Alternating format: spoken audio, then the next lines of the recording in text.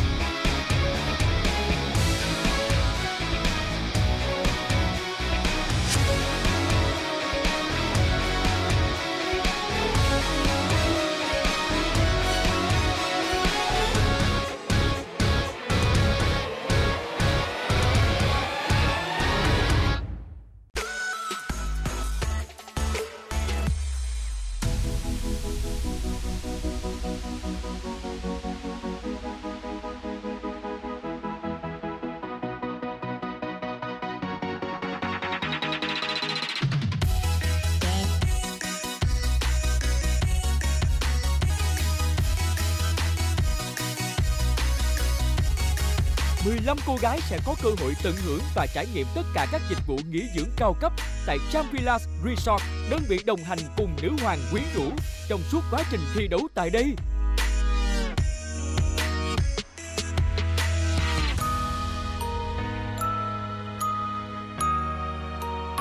mười lăm gương mặt xuất sắc, họ là ai? Và các thử thách gì đang chờ đón họ trong khu biệt thự cao cấp Champilas Resort 15 ứng cử viên sáng giá nhất của chương trình. Xin chào các bạn. Và đến với cuộc thi này chắc chắn sẽ là những trải nghiệm mà các bạn lần đầu tiên sẽ gặp phải và vượt qua để cố gắng làm sao đạt được mục tiêu đầu tiên đó là lọt vào top 5. Và kể từ đó, top 5 sẽ tiếp tục đến với đất nước xứ sở mặt trời mọc, sẽ tiếp tục vượt thử thách tại nơi đó. Và đây sẽ là mục tiêu tiếp theo để chúng ta có được giải quán quân mang tổng giá trị giải thưởng lên đến 300 triệu đồng về hiện kim lẫn hiện vật và đương nhiên sẽ có rất nhiều cơ hội về quảng cáo, về các mỹ phẩm, về thời trang và đặc biệt là những ngành nghề liên quan đến nghệ thuật. Chúc cho tất cả các bạn sẽ may mắn. Và đến với chương trình này, ngay từ tên gọi Nữ Hoàng Quyến Rũ, những nét quyến rũ này sẽ tập trung rất nhiều chi tiết nhỏ từ ánh mắt, nụ cười, dáng đi, lời ăn, tiếng nói và đặc biệt là tinh thần thi đấu của tất cả các bạn.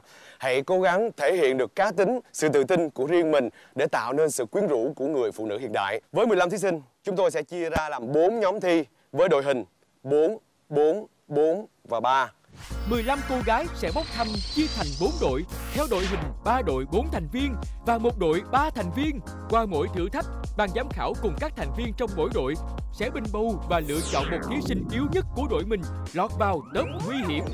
Các thí sinh của top nguy hiểm sẽ tiếp tục thi đấu với các đội còn lại hoặc tự thi đấu với nhau trong một thử thách cũ. Trong trường hợp top nguy hiểm phải thi đấu với các đội còn lại thì kết thúc thử thách nếu top nguy hiểm xếp thứ nhất sẽ không có thí sinh nào bị loại. Top nguy hiểm sẽ được xóa bỏ. Tất cả các thí sinh đều an toàn và chia lại đội hình các đội thi đấu. Nếu top nguy hiểm không đủ năng lực để xếp thứ nhất, một hoặc hai trong số các thí sinh của top nguy hiểm sẽ bị loại bởi ban tổ chức và ban giám khảo chuyên môn. Kết thúc hành trình thi đấu tại Việt Nam, năm cô gái xuất sắc nhất sẽ tiếp tục hành trình tìm kiếm ngôi vị quán quân nữ hoàng quyến rũ tại đất nước Nhật Bản cơ hội thi đấu và được làm việc với các chuyên gia thời trang hàng đầu châu Á và thế giới đang chờ đón họ. Quán quân nữ hoàng quyến rũ sẽ nhận được phần thưởng trị giá 300 triệu đồng và hàng loạt các hợp đồng đại diện với các nhãn hàng thời trang, mỹ phẩm, làm đẹp, giải trí, truyền thông và du lịch tầm cỡ quốc tế. Ai sẽ xứng đáng? hy vọng là các bạn đầy đủ sự đoàn kết mạnh mẽ bản lĩnh và tài năng để vượt qua các vòng thử thách đảm bảo sự công bằng chúng ta sẽ bắt đầu bốc thăm. Ồ. Thật tình. Trên tay ngoài đó bơi chính là những lá thăm để chia ra bốn nhóm một cách công bằng nhất.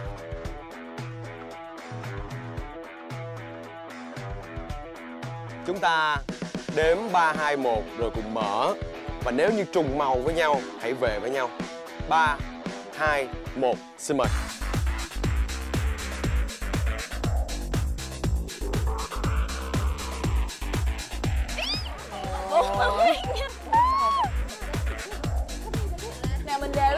đi Ok, cảm ơn các bạn rất nhiều. Như vậy, qua những màu sắc thì chúng ta đã chọn được những đồng đội trong nhóm của mình.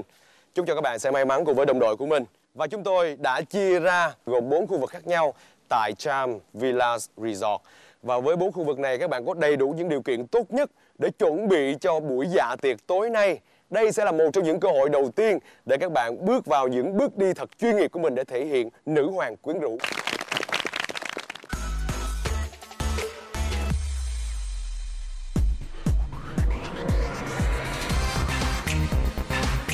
Mỗi đội sẽ ở chung một căn phòng. Đồ đạc thì rất đầy đủ Nhưng số lượng thì chỉ có một chiếc giường duy nhất. Hai đôi dép, một phòng tắm với hai chiếc khăn tắm mà thôi. Đây chính là tình huống mà ban tổ chức cố ý sắp xếp Để thử thách tinh thần đồng đội của các thí sinh. Họ sẽ sắp xếp và phân công như thế nào? Liệu mâu thuẫn có xảy ra?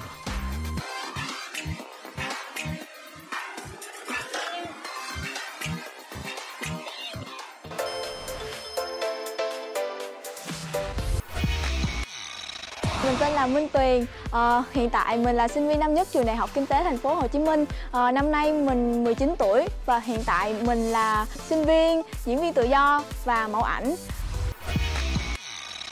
Mình là Kim Thành, à, năm nay Thành 23 tuổi Và hiện tại Kim Thành đang là ca sĩ tự do À, Mình cao 1m63 Số đo ba vòng là 85, 60 và 90 Mong muốn của Kim Thành khi đến với chương trình Nữ Hoàng Quyến Rũ đó là à, sẽ chinh phục mọi thử thách mà chương trình đưa ra Cũng như là có thể thể hiện được nét quyến rũ của Kim Thành Mình tên là Nguyễn Thủy Công việc hiện tại của mình đang là một diễn viên tự do Mình có sở thích rất là đặc biệt Đó chính là kinh doanh, đi du lịch và ăn uống với bạn bè và gia đình Mình tên là Huyền Thạch, năm nay Huyền 24 tuổi. Hiện tại công việc của Huyền là diễn viên. Huyền đến từ Hà Nội, hy vọng sau chương trình Huyền sẽ học hỏi được khá nhiều điều thú vị. Trời ơi, nhìn romantic vậy Có hoa nữa nè. Lãng mạn ha Mùi rất là thơm Kim Thành khá là hài lòng với kết quả chơi đội vừa rồi. Các bạn cũng tràn ngập năng lượng cho nên Thành thấy được sự năng lượng và sự nhiệt huyết từ các bạn. Kim Thành khá thích Thủy. Những cái bạn trong trong tim của mình rất là dễ thương Yeah, mình sẽ nằm đây, sướng quá Em nghĩ là chương trình sắp xếp cho bọn em một cái giường như này là có mục đích cả Là để xem sự đoàn kết của bọn em như thế nào Bốn người cùng nằm trên một cái giường quay ngang vậy là Kim Thành đưa ra. Thành cũng muốn thử để xem thử các bạn ờ, sẽ có phản ứng như thế nào, như thế nào. Thì Thành thấy các bạn cũng khá là thú vị. Cảm thấy rất là thích khi mà ở chung phòng với các bạn. Và đặc biệt là ngủ chung trên một cái giường nữa thấy rất là ấm cúng. Chắc chắn đội chúng ta sẽ chiến thắng đúng không? Đúng rồi Ngủ chung với cả bốn người trên một giường và có gì thì mình sẽ ờ, trò chuyện với nhau thân mật hơn và giúp cho tình chị em của tụi em khắng khít hơn và có thể hoạt động nhóm thật là hiệu quả. Mình thích nhất là chị Thành Mình chỉ không hết không hết một chút xíu là ở bé Minh Tuyền Tại vì mình cảm thấy bé nó hơi ờ, yếu đuối Kiểu như là mong manh dễ vỡ Như là ai cũng phải tập trung vào để bảo vệ cho bé Thì mình cảm thấy không có được thoải mái lắm Mãi mãi tuổi thanh xuân. Yeah!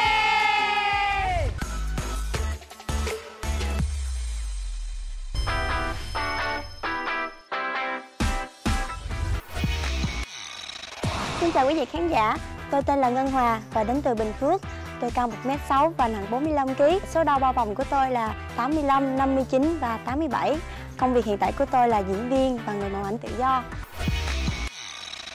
Xin chào tất cả mọi người, mình là Kim Anh. Nghề nghiệp chính của mình là một vũ công. Ngoài ra mình còn là một diễn viên. Đến với cuộc thi này, mình mong muốn sẽ thể hiện được tất cả khả năng của mình và nhận được sự yêu mến của tất cả mọi người. Mình tên là Vũ Mỹ Linh, biệt danh của mình là Linh Miu. Mình đang làm diễn viên tự do. Mong rằng là chúng mình sẽ có một cuộc sống thật là vui vẻ với nhau, luôn luôn hòa thuận và có những cái mối quan hệ mới. Mình tên là Quỳnh Thi, công việc hiện tại của mình đang là người mẫu và diễn viên tại thành phố Hồ Chí Minh. Mình đến với chương trình bởi vì tên của chương trình có một cái sức hút khiến cho Quỳnh Thi tới. Quỳnh Thi cũng tham gia nhiều cuộc thi nhan sắc và cũng có nhiều giải hoa khôi, miss và á quân nhưng mà chưa có giải nữ hoàng. Mong quý vị khán giả và mọi người ủng hộ cho Quỳnh Thi nha. Cái giường này ngủ chắc được ừ, hai người Hai người, nếu mà cố gắng lắm thì ba người. Đúng rồi. Nhưng mà người nào quậy thì cho người đó nằm ngoài bìa. À, đừng nói đó là chị quậy nha chị quậy hả chị Chị đi. Hai chị Chị em đi. sẽ nằm dưới cho mới coi phòng là chị ấy đã dành trước về cái phần nằm dành trước về cái phần nằm Nếu mà vì vấn đề khác thì em cũng có thể là san sẻ nhưng mà thực chất về cái của em á cơ cơ thể của em á nhằm khi mà nằm ở dưới mặt đất này thì em cảm thấy nó dễ bị cảm và đặc biệt là ở chỗ lạ thì em cũng khó có ngủ lắm. Thì thôi giờ còn cách nào nữa bằng để cho chị ấy ờ, nằm trên giường thôi. Muốn công bằng thì tụi thì để để em nằm một mình ở dưới cho. Còn nếu mình tại vì đáng lẽ là là đáng lẽ là nếu mà ai lăn nhiều quá thì nằm một mình thì đỡ hơn nhưng mà tại vì chị không có nằm ở dưới được thì ok. Thì bây giờ cứ nằm ở trên đi. Nãy lưng là em đã tự động em xí chỗ này rồi đúng không? Em rất hài lòng chỗ đó đúng không? Thôi chỗ đó ngắn ngủn là tội nghiệp. Em sẽ bị dễ bị cái này là em có em em em muốn vậy đúng không? Tại vì cái này nãy giờ là chưa chia tại vì linh là linh nhìn nhìn vô là linh có. Bởi vì tình yêu với cái ghế này Chị là chị ngủ chị cũng hay co chân với cả nằm yên một chỗ ngoan ngoãn không bao giờ lăn qua lăn lại. Người khác thoải mái thì em cũng sẽ thoải mái Chứ em cũng không cam tâm mà nhìn mọi người ờ, phải chia chỗ những cái chỗ khác mà kiểu nó không thuận lợi cho thân thể của họ. Chị chị với bé Hòa sẽ ngủ trên giường. Và Linh thì có thể qua đây ngủ chung đi chứ thực sự là linh hoạt. Đúng. linh là linh hoạt luôn. Hả? em cảm thấy em muốn ngủ ở đâu em ngủ. Ok. còn chị thì là cái cái nệm kia. May mắn được gặp cái đội này bởi vì tất cả các bạn đều có một cái sự nhường nhịn nhất định. Mấy em là nói à, thôi để sắp xếp cho chị Thi nằm trên giường. Em nghĩ chị Thi hơi bị lệch tông với tụi em. Chị Huỳnh Thi thì chị cũng ờ, thân thiện nhưng mà em vẫn cảm giác có một cái gì đấy rất là nguy hiểm ở đây. Em không nghĩ là một trong ba bạn đó là cái đối thủ đáng gờm nhất của em.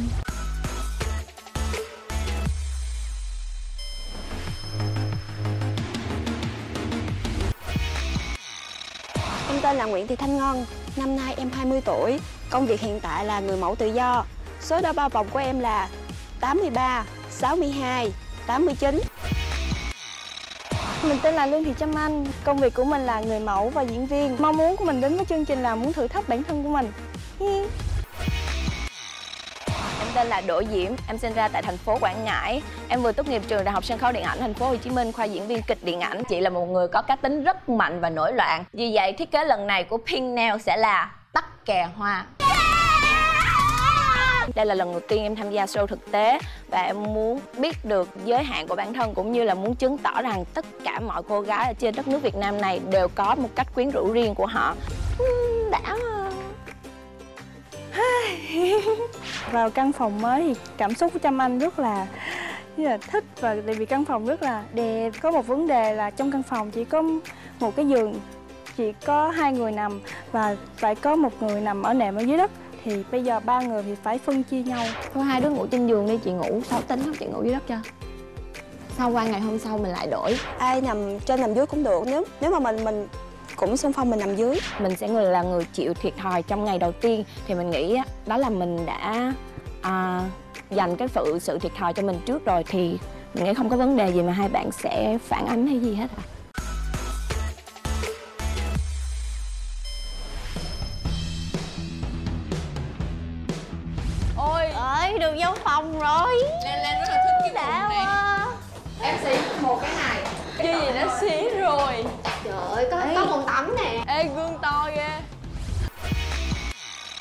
Chào tất cả mọi người, em tên là Anh Thư, năm nay em 21 tuổi.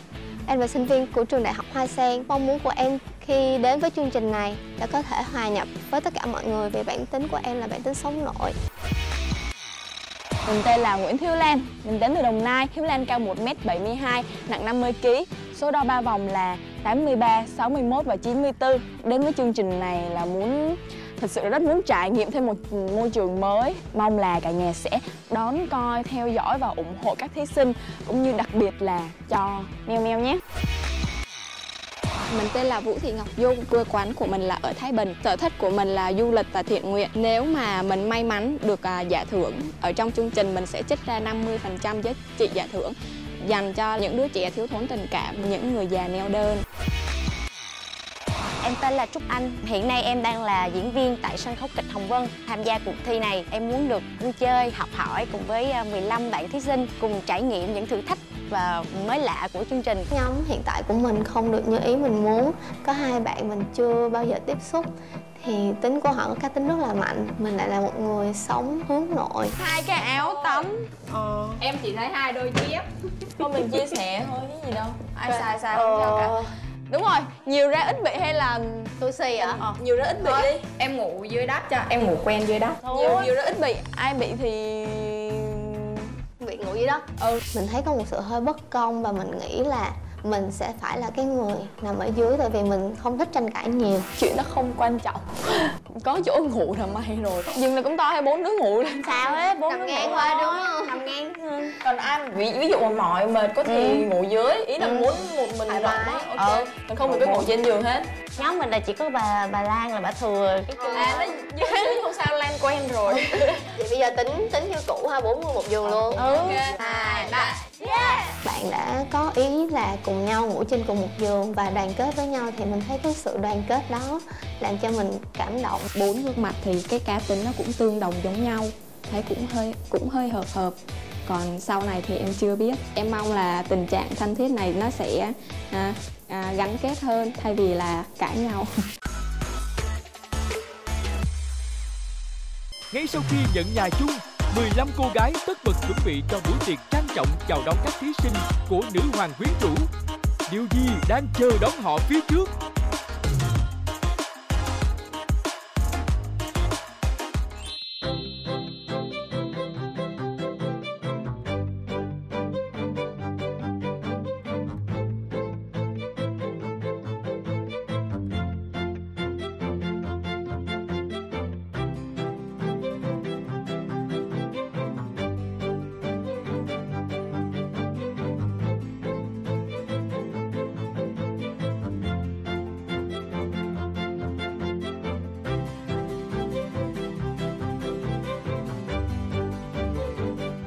Chào các người đẹp Các nữ hoàng quyến rũ của tương lai. Chúc mừng các bạn đang đến với một không gian rất sang trọng tại nhà hàng của Village Resort. Và tại nơi đây chính là chất xúc tác để cho những cảm xúc thăng hoa nhất Giúp cho các bạn vượt qua thử thách đầu tiên của ngày hôm nay. Chúc mừng các bạn. Và bây giờ xin mời các người đẹp có thể nâng ly cùng với Hoàng Rapper Để chúc cho chúng ta sẽ gặp được may mắn và vượt qua được thử thách đầu tiên này. Cheers. Cảm ơn các người đẹp Là một nữ hoàng quyến rũ, chúng ta phải thể hiện được phong cách, phong thái và thần thái ngay từ cách ăn, cách uống. Và đặc biệt, đề bài chúng tôi sắp sửa đưa ra đây, các bạn hãy chú ý thật kỹ theo từng chi tiết. Chắc chắn ngày hôm nay, ngày đầu tiên sẽ có một cuộc chia ly. Với bốn nhóm, sau khi hoàn thành được phần thi của mình, mỗi nhóm sẽ được ban giám khảo chọn ra một thí sinh bất lợi nhất, bước vào top nguy hiểm. Và top nguy hiểm này sẽ tiếp tục vượt qua một thử thách phụ. Và từ thử thách phụ đó, chúng ta sẽ chọn một hoặc hai người phải ra về tùy theo phong độ, tinh thần và tài năng của các bạn. Và bây giờ sẽ là đề bài của các bạn. Xin mời hai vũ công đến từ nhóm live dance.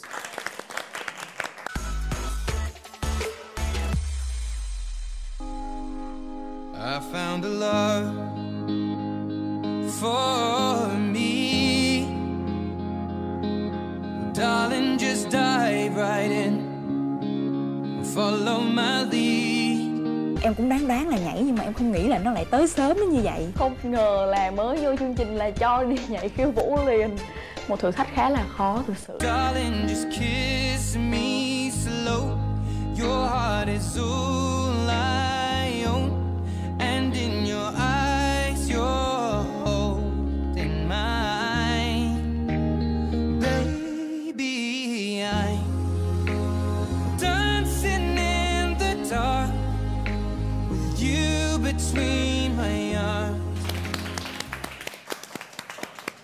Vừa rồi chính là đề bài để cho chúng ta có thể đến với một thế giới thực sự của một nữ hoàng quyến rũ là một nữ hoàng phải thể hiện được sự uyển chuyển, mềm mại và một phong thái như thế nào để xứng đáng với sự quyến rũ của chính mình. Đề tài ngày hôm nay khiêu vũ. Trời, sao không cái phải là ngay cái ca sở trường của mình mà ngay điểm yếu? Sợ nhất là môn này thà là múa, thà là uh, nhảy khi nào đỡ sợ hơn là khiêu vũ. Thôi, tóc nguy hiểm nhất rồi, chắc chắn là vô rồi. Để vượt qua được thử thách này, chúng ta cần phải có một buổi huấn luyện bởi một giám khảo đầy chuyên môn với giải thưởng mà anh ấy đã đạt được thì chắc chắn chàng trai này sẽ giúp cho các bạn hiểu nữ hoàng quyến rũ sẽ nhảy ra sao. Và bây giờ xin mời các người đẹp hãy chào đón giám khảo chuyên môn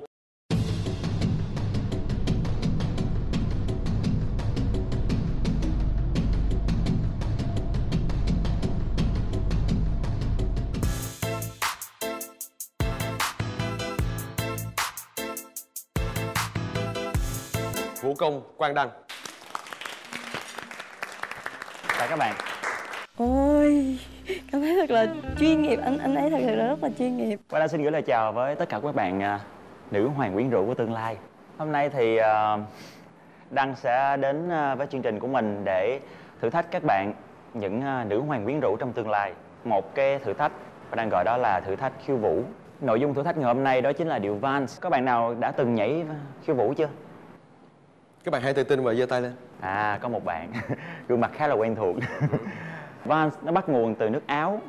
Đó là một vùng à, ngoại ô của nước Áo. Điệu Vans nó bắt đầu từ năm 1780 Chữ Vans là bắt đầu từ tiếng Đức Một cái tiếng Đức cổ. Nghe nó cũng khá là đặc biệt Đó là Valser Sau này điệu Vans đã được sử dụng nhiều trong hoàng gia. Chính vì được nhảy trong hoàng gia cho nên chúng ta phải có một cái sự thần thái rất là tốt. Các bạn phải đạt được ba điều. Điều thứ nhất phải thể hiện được sự quyến rũ trong cái bước nhảy của mình điều thứ hai, đó là các bạn phải thể hiện được sự liên kết đối với bạn nhảy. Và thứ ba là các bạn phải thể hiện được thần thái và phải rất là quyến rũ và rất là quý tộc mời các bạn đứng lên nè.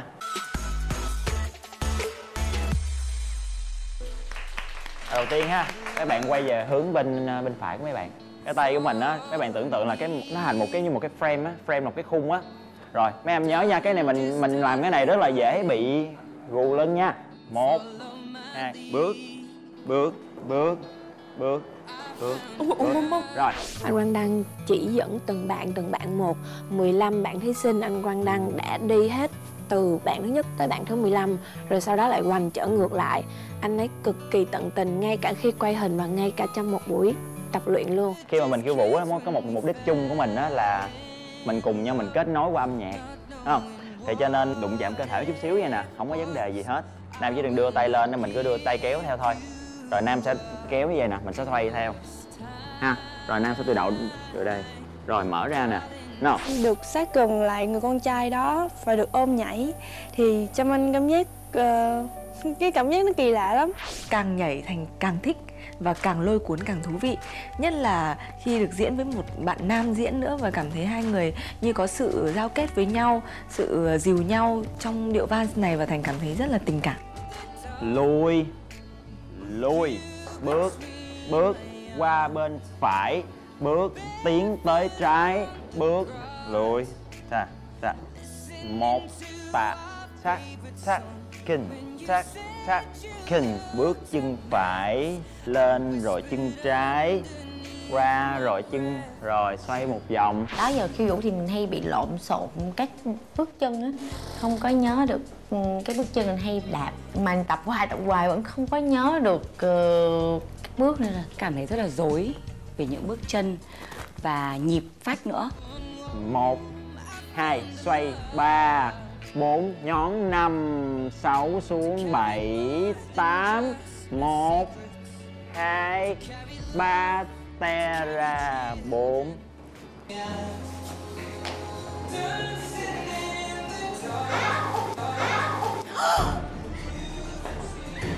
sao? Sao nhớ Vô thấy độ mình té rất là hoảng. Nghe cái đùng một cái thì quay qua thấy bạn anh Thư té nằm xuống đất rồi. Mình té đối với mình mình nghĩ là đó là một áp lực vì đây là một cái sở, sở đoạn của mình mình không thực hiện tốt nên mình đã có hơi yếu đuối một chút. Trong lúc luyện tập, anh Thư đã vấp phải chân của Linh Miêu và té rất đau. Không biết đây là vô tình hay hữu ý. Trong khi mọi người đều rất lo lắng và chia sẻ với anh Thư thì biểu cảm của Linh Miêu là Rồi tháo giày ra đi, tháo giày ra đi Ổn không? Sao không? Sao không? Đau đúng không? em em muốn cho mọi người tập tiếp Mở câu gót này nó đỡ nó chấn thương hơn chút ha dạ em ổn Lan cũng hiểu cái cảm giác là lúc mà mình bị yếu đuối mà ai mà đụng như mình phát là mình bị bị yếu hơn rồi. Cảm động khi mà tất cả mọi người các chị em đều quay lại hỏi thăm mình lo lắng khi mà anh Thư bị ảnh hưởng tinh thần như vậy.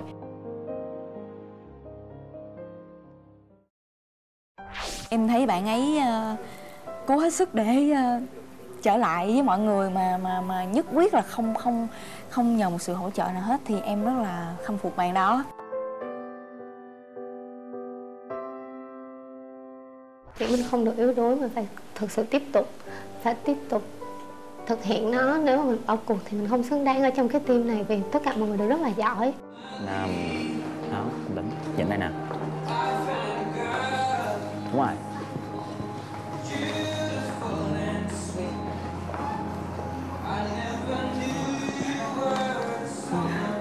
Đây. Ba Xoay Vậy, được không? Ok Rồi Xong rồi 15 thí sinh thì ờ, có thể là Thành Thành có uh, chút uh, lợi thế hơn vì Thành đã từng tiếp xúc với nhảy nhót này cũng như từng được biểu diễn trên sân khấu. Là em tự chấm cho em đó nha. Là em nghĩ là em tốt hơn bình thường và em chịu khó hơn bình thường nhiều lắm. Mình cũng đã thuộc được khá là trôi chảy. Chắc chắn là nhiều người thua mình dựa vào khả năng của mình mình tự tin là mình giỏi hơn nhiều người. Chương trình ra một điệu nhảy vang và cho thử thách cho các thí sinh của nữ hoàng quyến rũ.